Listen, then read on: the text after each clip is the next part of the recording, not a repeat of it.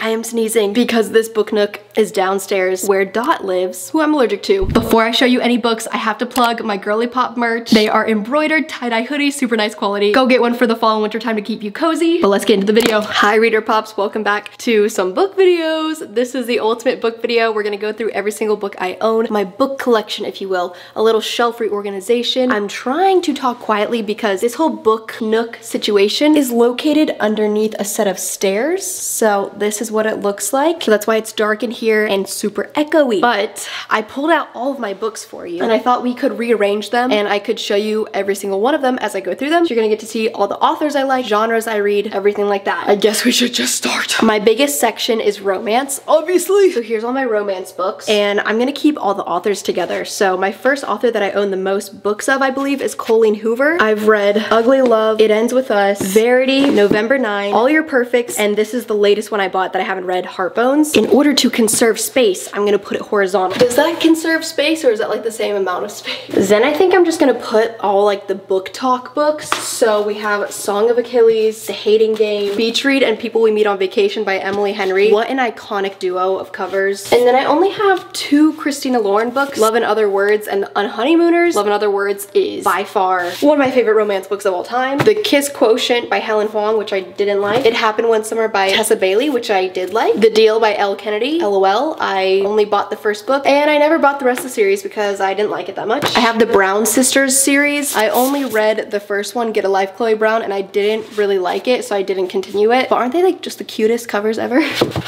cute, cute. Dang it, I'm getting an allergy attack in the middle of this video. It's so dark under here, but hopefully it's like a cozy reading vibe. This is another romance series. This is the Bromance Book Club and then Undercover Bromance. And then there's a third book that I don't have, so I'm gonna put this on top. Okay, cute. That's saving a lot of space actually. And then keeping in theme with like the cute covers, we have You Deserve Each Other, While We Were Dating. Haven't read this one yet. The Ex Talk, The Love Hypothesis, but this is a book of the month book and I'm kind of considering keeping it with other book of the month books, but I'm not sure yet, so I don't know. It's also hardcover and Spanish Love Deception, so I'm gonna put all of these together because they're so cute. We have Emergency Contact, which is a the only young adult romance I have, and then Loveless by Alice Oseman. Before We Were Strangers, so good. Birthday Girl by Penelope Douglas, got this for reading someone else's five-star books and gave it two stars. I really did not like it. And then this massive Wall of Winnipeg book by Mariana Zapata. Hopefully I have more books by her, but they're all so long and I didn't like love this one, so I haven't gotten any more of hers. And the ugliest book I have, no offense, no offense, but um, Small Town Dreams by Nora Roberts. I was on like a tiny island in the Florida Keys. The only thing they had was a CVS that had books, so I just bought this and I read the first story in it. It actually wasn't that bad, but so I hate like the old school small books like this. They give me the ick for some reason. Okay, so this should round out. Put these all back here.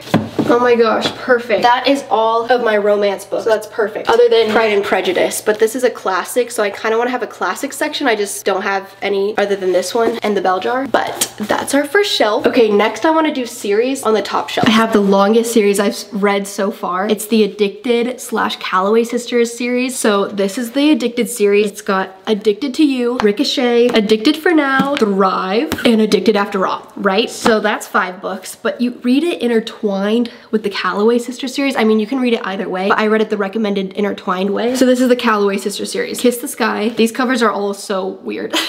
Hot House Flower, Fuel the Fire, Long Way Down, and the huge epilogue book, Some Kind of Perfect. This is the one book I haven't read in it because it's like nearly 700 pages. I will read it one day. I just don't want to close out this chapter in my life of reading about this family because I love it so much. So then the other series that I have, I cannot wait to read this. This is actually nominated for a Goodreads Choice Award. It's the Good Girl's Guide to Murder series. So we got this one and then Good Girl Bad Blood and As Good as Dead. And the covers of these are so cool. We'll put that here. And then I've got this series, the Crave series. So we've got Crave, Crush, and Covet.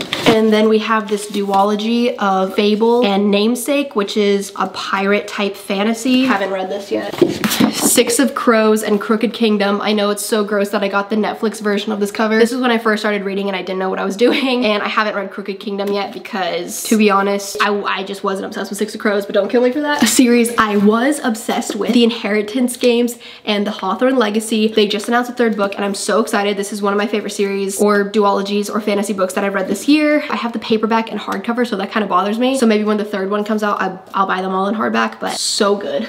Oh, this is perfect because it's the last series I have. This is something I just bought. This is the Ravenhood trilogy. I read the first chapter on my Kindle when I was traveling. I just got that feeling that I was gonna love the series and bought the entire series. And then I kept reading and it's like way spicier and saucier and like the vibe is just way darker than I usually like in my books. So I'm actually not going to ever read this, I don't think. I don't know what I wanna do it with it yet. I don't know if I wanna donate it, give it away. Just giving you guys a heads up because on my channel, I do like to warn you if you're trying to avoid spice, avoid this series. I am so out of breath because of my allergies. But it is a romance, so I guess I'll put it next to this romance series.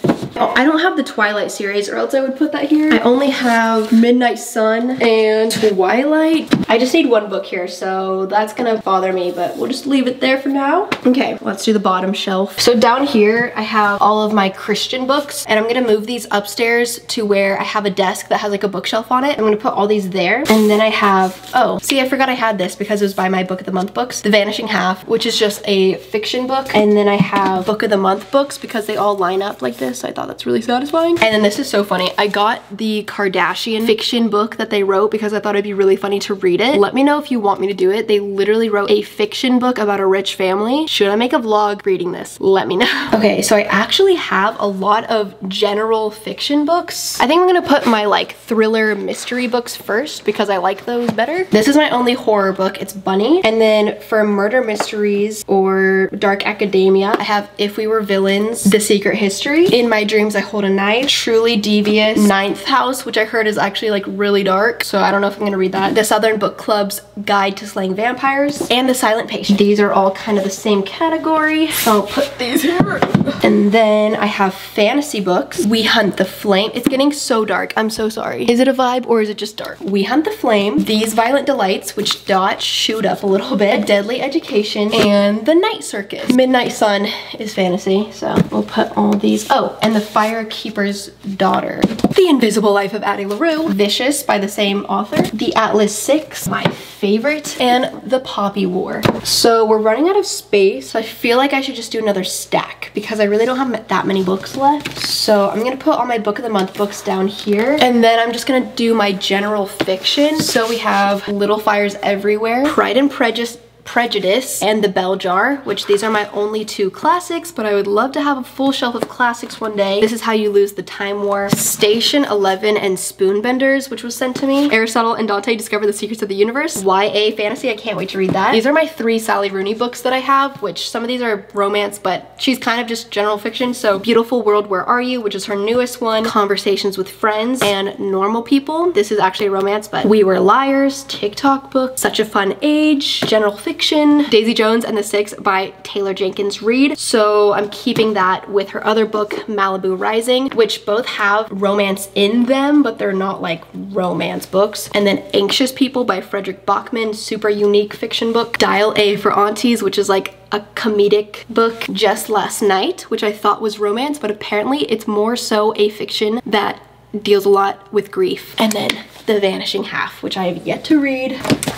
And lastly, the Kardashian book that really does not deserve to go by Pride and Prejudice though. Maybe we'll just hide it back here for a little bit until I get to reading it. Shall we do an overview? Hi, sweet boy. These are a bunch of nonfiction books, so Rainbow, obviously, and I don't agree with like some of those authors on there, so if you see a book on there, it doesn't mean I agree with them, okay? For example, Joyce Meyer. Okay, anyways, here's my part of the shelf. We've got our series, we've got our romance. Jeez, I'm so sorry how dark it is, guys. Our fantasy, thrillers, murder mysteries, and general fiction. I guess this is my current book collection. These are the rest of the books. If you want Christian book recommendations, I have an entire video about that, so these will go upstairs at my desk. But that's it. That's the book collection. I hope you guys enjoyed. I hope it wasn't too chaotic. And now you know every single book I own. And I will see you guys somewhere else on the internet. Bye, guys.